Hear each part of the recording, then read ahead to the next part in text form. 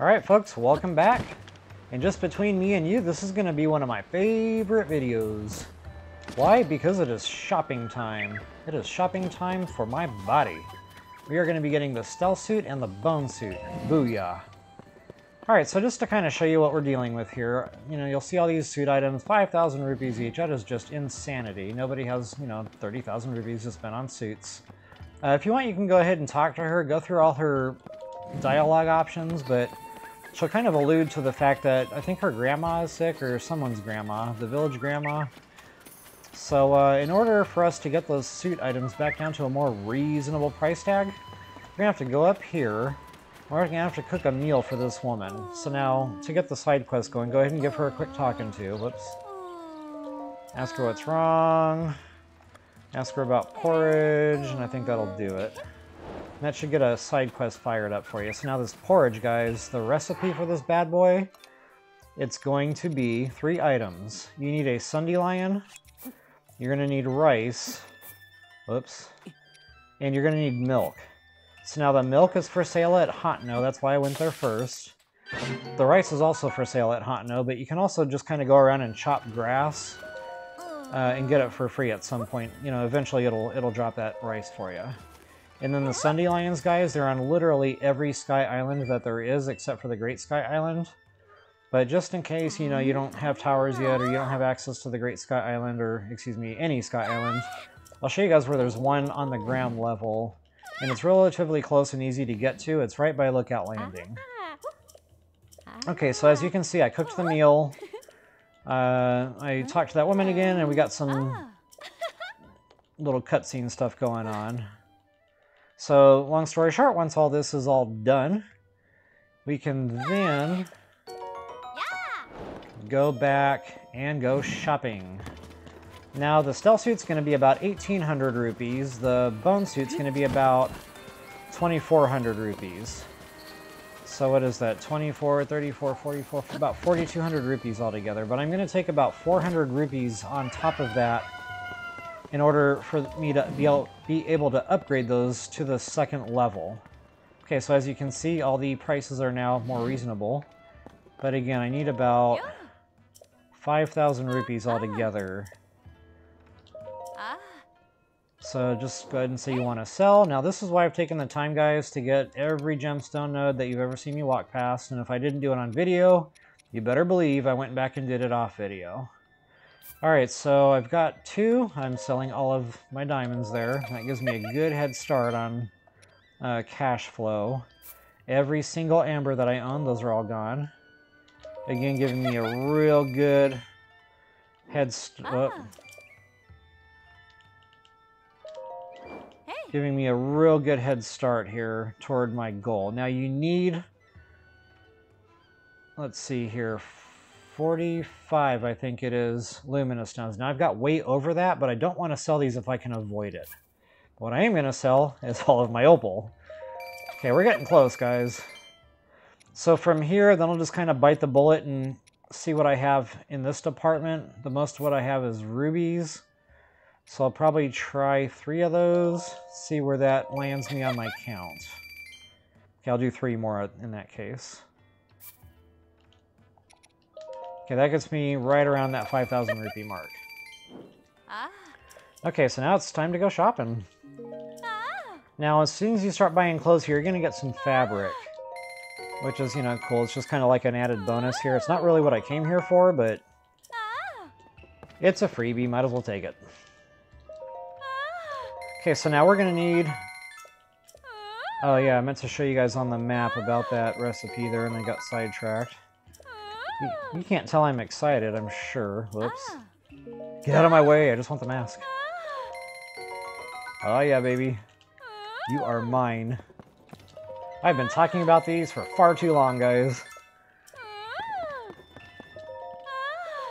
Alright, so that's all the sets now that I want to upgrade. I got the Barbarian, I got the Bone Suit, and I've got Stealth. So just to show you where that Sundelion is, so here's Lookout Landing. Am I saying that right? Haha, look at me go. Okay, so Lookout Landing.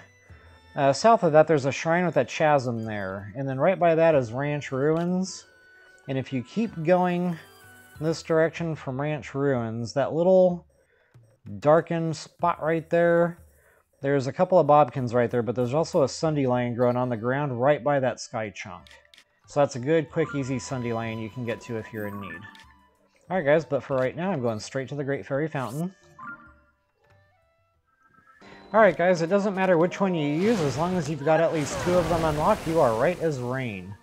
So you guys already know the three suits I'm going right after here, and that's going to be the Barbarian. Those will require, we, re, blah, require the wing, you asco, wabbit. That's going to require, jeepers, require. Hey Alexa, how do you pronounce require?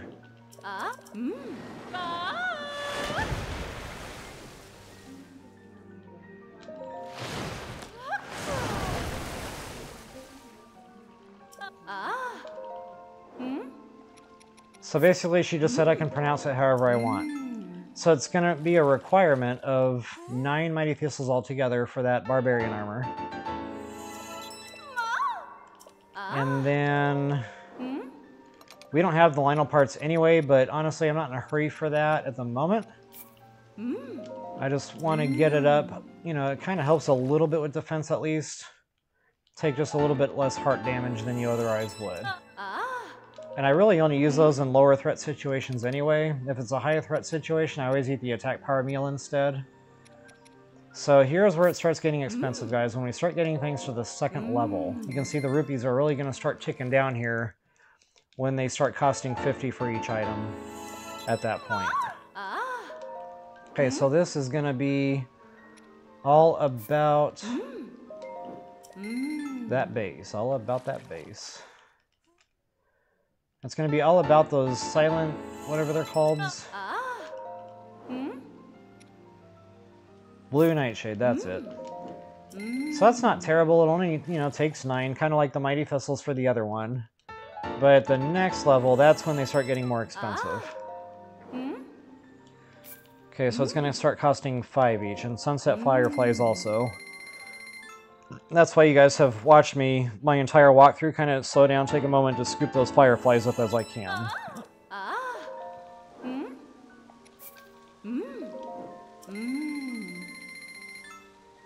So if you guys are wondering where, to find these materials, I'll show you on the map here when I'm done doing all this, you know, pushing button stuff.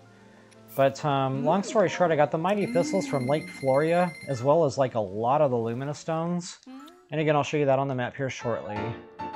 But um, I got most of the blue flowers, the ah. silent nightshades or mm. whatever they're called.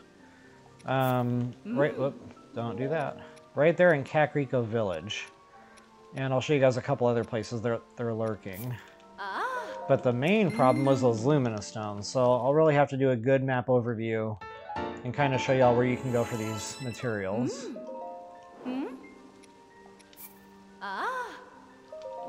Mm. Alright, Bone Soup Baby. I am ready.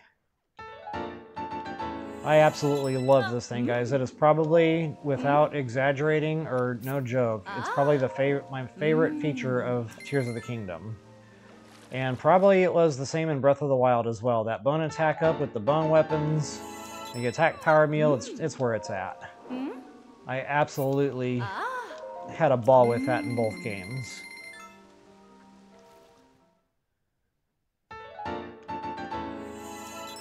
My only complaint is here in the Tears of the Kingdom, it's a bit tougher. In Breath of the Wild, you know, those Dragon Bone Moblin colors were everywhere. And I knew where to go get real easy and quick ones right off the Great Plateau. In this game, it's just kind of backwards. You have to really work hard for the bone stuff that will pair with those um, damage bonuses. Uh, Stalnox horns, Gibdo bones, although those break. So you can't attach those to weapons, but Stalnox horns you can. Uh, Mugdula jaws, Mugdula, and the spiny bones that you'll see kind of laying loosely around on the ground. I'm kind of debating whether or not I want to upgrade this. Let's see how far I can go with this first. So yeah, you can't pick those spiny bone things up and put them in your inventory, but when you do see them laying on the ground, you can fuse those to weapons. And folks, whatever you fuse those to, it's going to get like a stacking damage bonus. So let's say the, the weapon base damage is 20, let's say the spiny bone is only 7. Okay, you might think, well that's just a crappy mm. tipper, it's only 7. Yes and no. Mm. So that 7 is going to add to the 20, so now you have a total of 27. And you can go ahead and triple that 27 for bone attack up and attack power meal on top of it.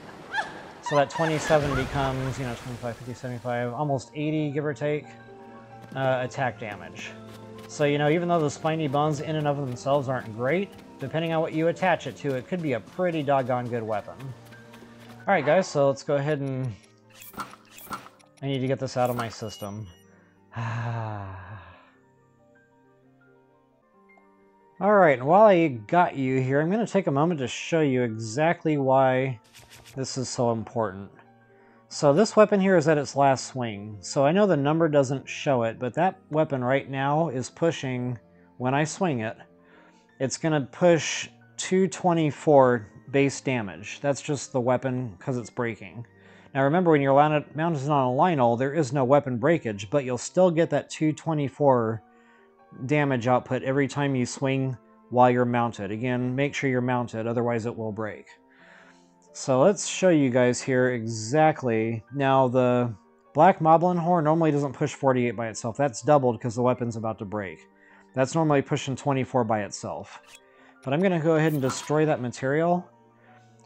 And I'm going to show you guys what happens here.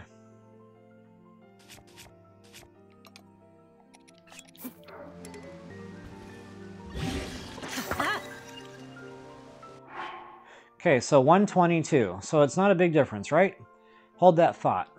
So that 122 is 244, so it's already more. But um, here's where the real kicker comes in. And again, this is not going to show on the number, folks.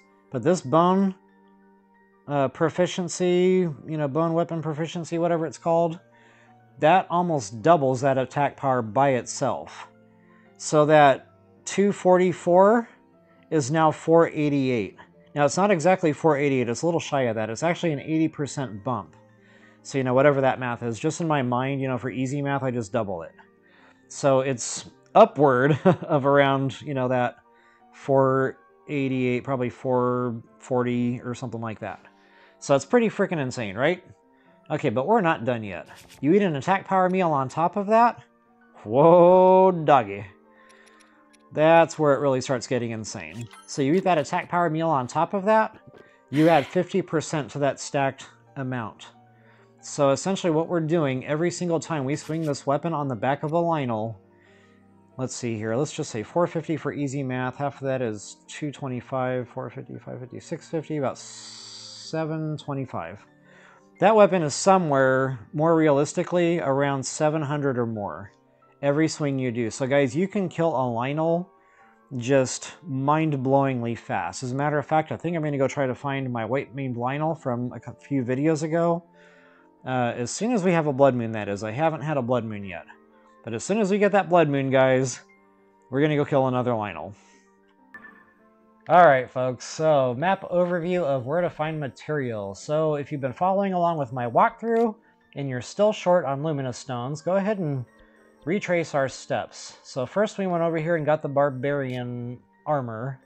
And there's a bunch of Luminous Stones outside the cave entrance. And there's a bunch of Luminous Stones on the inside of that cave. Next place I went was Hyrule Castle. Don't forget the Royal Hidden Passage. You have to get in there a little ways to get to them, but there's going to be a big cavern that opens up with quite a few Luminous Stones in there as well. And then, guys, where it's really at is down here in the Floria region. There are tons and tons of Luminous Stones in these three caves. Now, these three caves correspond to the three brothers, or whatever, the three Hinox. So in each cave, there's going to be a Hinox, and they're going to be guarding the Luminous Stones, unfortunately. But it is worth your, your effort to go through there and collect what you can. Uh, not only that, pretty much every other cave we've been in has, you know, one or two Luminous Stone nodes in it also. Okay, so in addition to all those caves, right here, guys, this island is a Luminous Stone Island. And all the stuff that I'm pointing out responds in time. So that's why I say if you haven't quite gotten yourself over the finish line yet, just go back, retrace our steps, and you'll be right as rain. Okay, you can also find mighty thistles, guys. They're all around here. You'll see them pretty much all over the place. Pretty much if you're going to go, you know, go cave bouncing here, you'll see the mighty thistles along the way as well. So as far as moblin guts go, I like to go here to the castle yeah, we're going to ignore that. Uh, here at the castle, look south when you emerge, and uh, you'll see a bad boy nest of three black moblins there. So save the game. Go on in there at night if you want, sneak strike them all, but the reason I say save the game, if you don't get at least two or three guts, go ahead and reload that save and try again. There's also one more black moblin that I know of anyway, right there next to Princess Zelda's study, where those stairs kind of meet that flat spot. There's also a blue Lizzle there, so be aware of that. What other materials did we need here? Oh, the blue flower stuff. The nightshade, you can find a couple over here. That's not right. Um, get my bearings here. I think this one. There's a couple of flowers there. On the way to Kakariko Village, there was a couple of flowers off to the side here on top of this mountain right here. So East Hill is what you're looking for. And it might be a bit of a climb, especially in the rain, but it's worth it. There's quite a lot of those flowers up there. Oh, fireflies. So if you're short on fireflies, right around 10 p.m., give or take, you know, you might want to start early, 9, and sometimes they spawn a little later, like 11. Uh, but anywhere, literally, where there's just normal trees. Now, the rainforest, I don't recall seeing them there in abundance. Not to say that they'll never spawn there, but where I like to farm is Great Sky Island.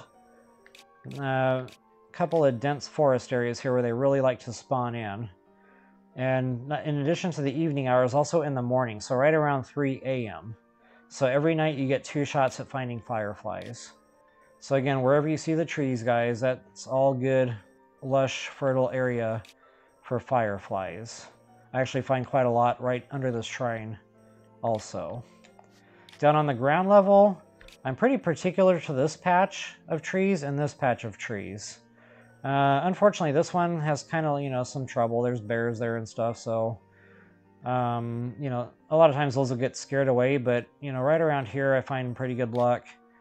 And then one more spot, which I don't think I have the map for yet. I do not. But you can also check here and across the river from here. There should be a stable over there somewhere. And again, I have good luck over there also. I think we covered it all. Alright, folks. If you enjoyed the information I gave you just now, please take a moment to like, share, subscribe, and comment.